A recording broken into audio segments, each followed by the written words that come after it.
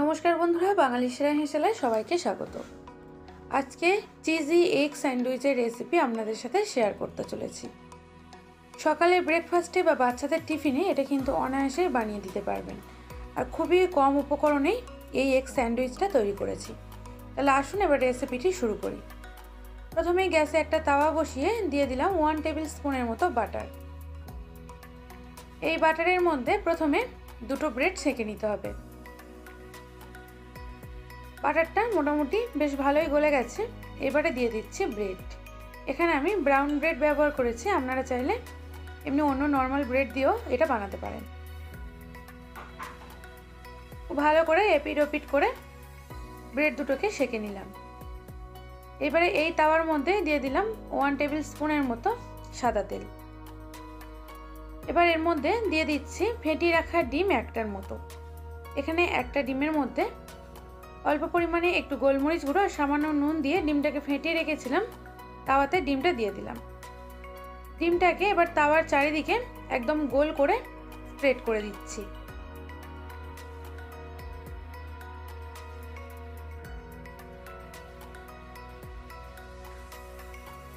আর এই সময় গ্যাসের ফ্লেমটাকে কিন্তু অবশ্যই লোতে রাখতে হবে।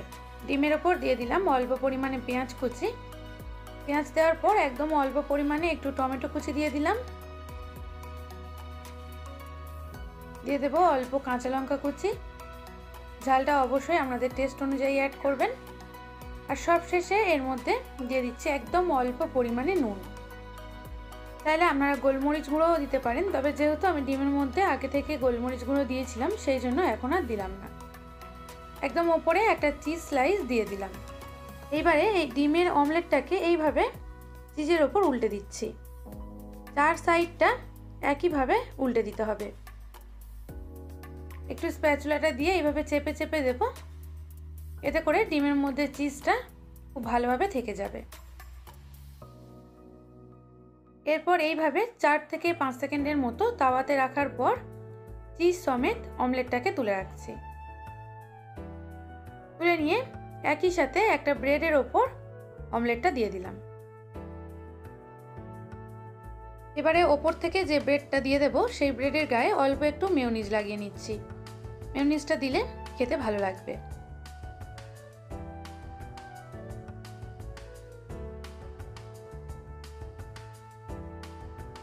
এবারে ওপর থেকে অমলেটের ওপর এইভাবে চেপে দিলাম।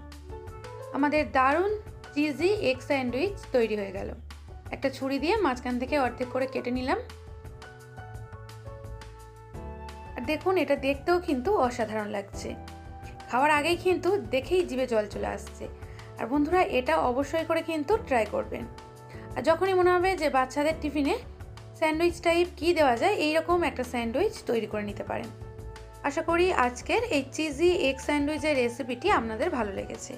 আর আমার চ্যানেলে নতুন বন্ধু হয়ে থাকলে চ্যানেলটিকে সাবস্ক্রাইব করে পাশে থাকা নোটিফিকেশান বেল আইকনটি প্রেস করে দেবেন।